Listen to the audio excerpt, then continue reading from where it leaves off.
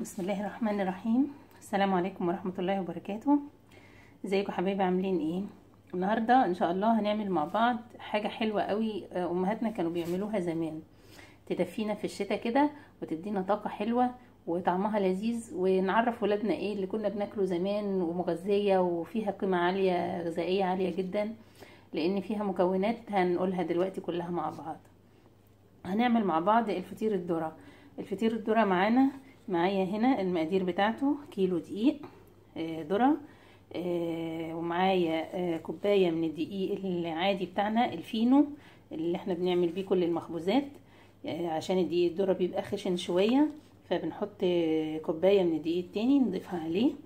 ومعايا لبن رايب أنا مروباه أهو في الطاجن بتاعي ومعايا قشطة قشطة بتاعت وش اللبن. طلعتها فكت معايا هي ومعايا معلقة صغيرة ملح ومعلقة صغيرة سكر. والجبنة طبعا عشان الحشو الجبنة القريش ومعايا معلقة سمنة بلدي زي كده ومعايا شوية زيت شوية زيت هنضيفهم هما كمان. هنبدأ مع بعض دلوقتي نعجن المكونات وهنشوف الطريقة اللي هنعجن بيها إزاي. معايا كمان رشة baking powder هنضيف رشة baking powder على على الدقيق لأن إحنا مش بنضيف هنا خميرة. تقريبا معلقة صغيرة.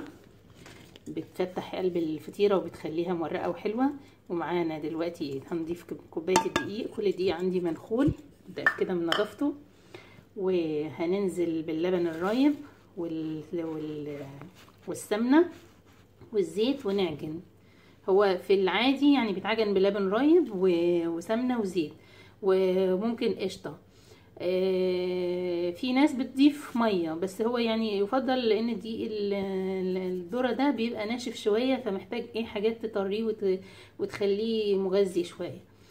آه هنضيف اللبن الرايب والسمنة البلدي. وزيت وزيت الذرة. لازم يكون زيت نظيف عشان يطلع طعم الفطيرة حلو. وهنعجنهم وهنرجع مع بعض. كده كده أنا هرست الجبنة بتاعتي في معلقتين قشطة عشان تبقى حلوة ودسمة كده وجميلة. اللي هعمل بيها الحشو وجهزتها عشان أبقى أحشي بيها قلب الفطيرة. زي ما إحنا شايفين كده هنضيف اللبن شوية شوية لحد ما تلف معانا العجينة. بسم الله ما شاء الله. هنضيف الباقي. ولو احتاجنا شوية مية ما يمنعش يعني إن إحنا نحط شوية مية.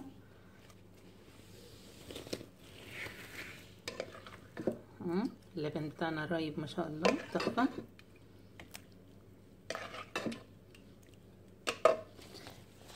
بسم الله الرحمن الرحيم. مش بنضيف خميرة ولا حاجة.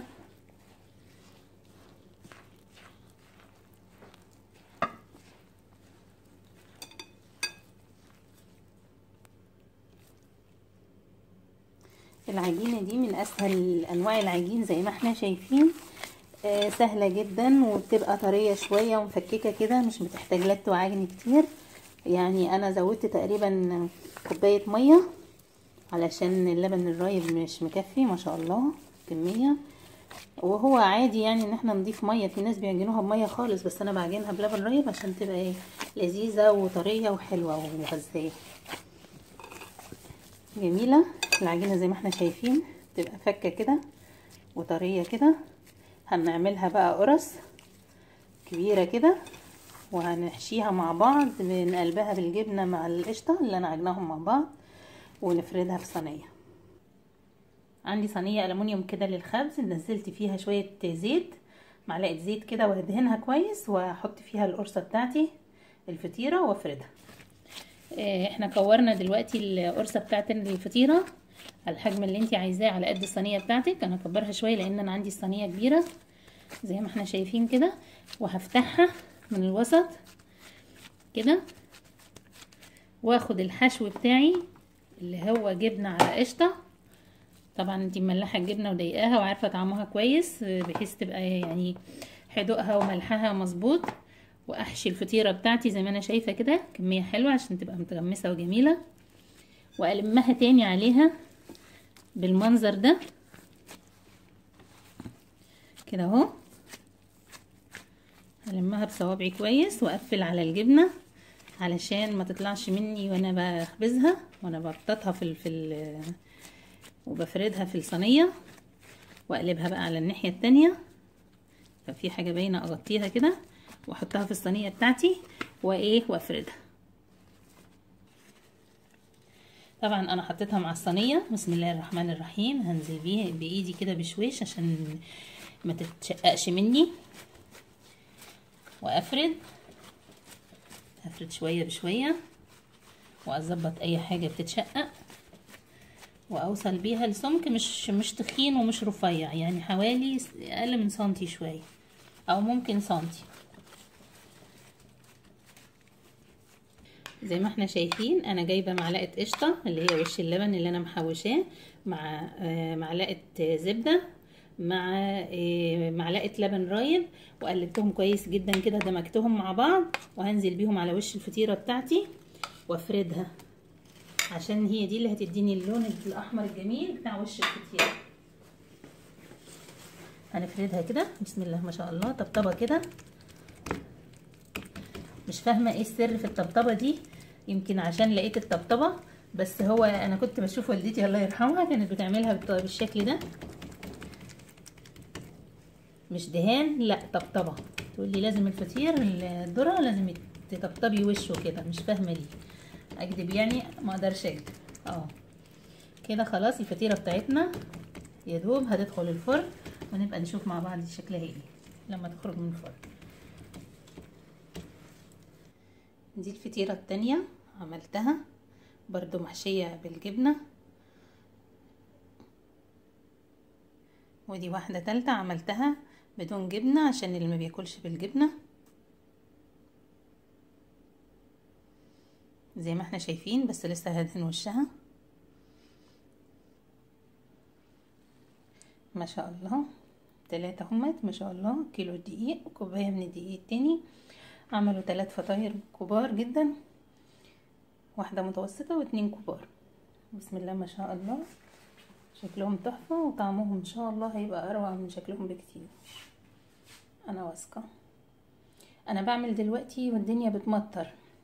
فاكرين بقى لما كنا بنعمل فطير أو أمهاتنا وجداتنا كانوا بيعملوا فطير وإحنا صغيرين كنا بنقول إيه؟ لما الدنيا بتشتي اللي عارف يقول لي.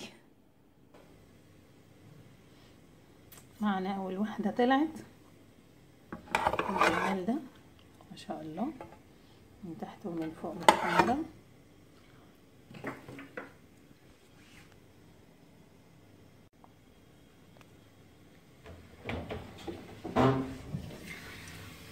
التانية في الفرن.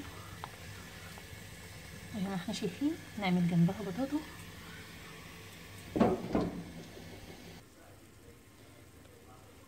الفطيرة التانية طلعت ما شاء الله اللي هي الجبنة. لونها خطير وريحتها قلب الشقة. وما شاء الله على الدفى اللي الفرن عامله في الشقة والريحة اللي طالعة جميلة في في الأجواء الشتوية الحلوة دي.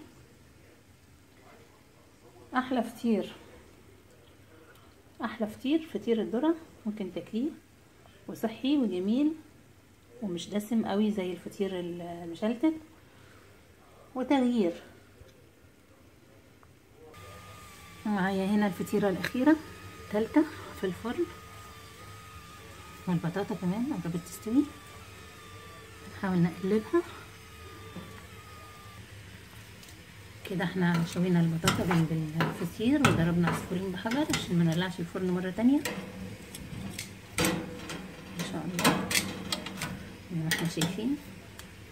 قربت تستوي